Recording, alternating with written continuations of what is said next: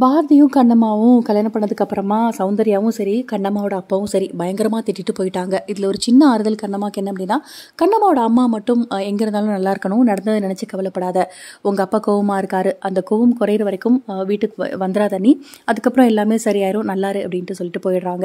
கண்ணம்மா நடந்த எல்லாத்தையுமே நினச்சி ஒரு பக்கம் அழகிறாங்க இன்னொரு பக்கம் என்ன அப்படின்னா சௌந்தர்யா வீட்டில் வந்து ரொம்ப நாடகம் போட்டுட்டு இருக்காங்க வெண்பா.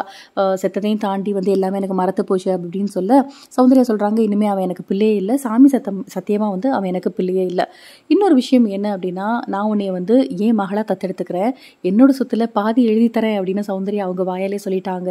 ஸோ வந்து விஜய் ஆகட்டும் ஷர்மிளா ஆகட்டும் பெண்பாகட்டும் ரொம்ப சந்தோஷமாக இருக்குது அவங்களுக்கு உள்ளுக்குள்ளே.